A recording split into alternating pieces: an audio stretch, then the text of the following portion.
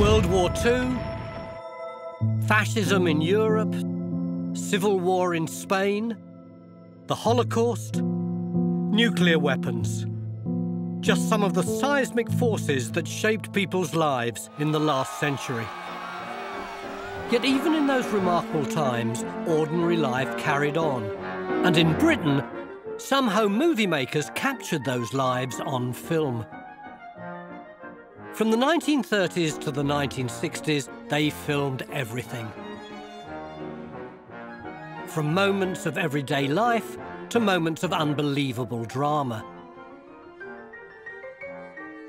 From the horrors of the Blitz to the thrill of the Beatles. From time at work in the countryside to time off work by the seaside. Using some of the best of the films they shot, we'll tell the story of life in Britain in the 20th century in a way that's never been told before.